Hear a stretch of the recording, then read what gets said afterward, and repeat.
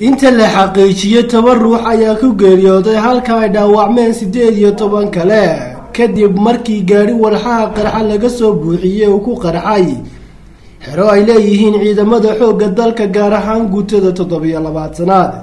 Sida ay xaqiijiyeen waaxda gaadiidka gurmadka deg dega ah dadka dhaawac ah waxaa la geeyey isbitaalada ku yaalla magaalada muqdisho si loogu daweeyo waxyeelada gaartay halka dadka dhintay qaarkood la dhigay goobaha caafimaadka.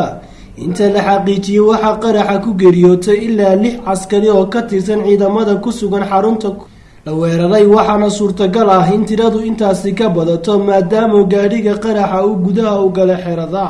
Kooxda al-shabaab ayaa sheegatay mas'uuliyadda qaraxa maanta ka dhacay xero ay degan yihiin ciidanka xoogga dalka gaar ahaan guutada toddobiyo labaatanaad ee abril oo ku taala dhabarka dambe ee xarunta xisbiga iyo stadion muqdisho.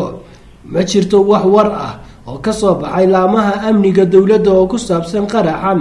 Waxaana uu soo beegmay qaraxa iyadoo magaaladu inta badan wadooyinku yihiin kuwa xidhan islamarkaana iskuisyada la dhigay ciidamo.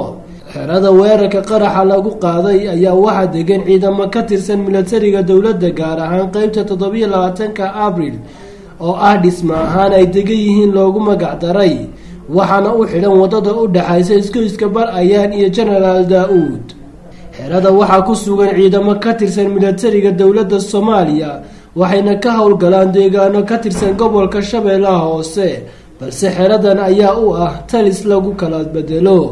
Najiib ismaaciil nuur telefishinka caalamiga ee gobonimo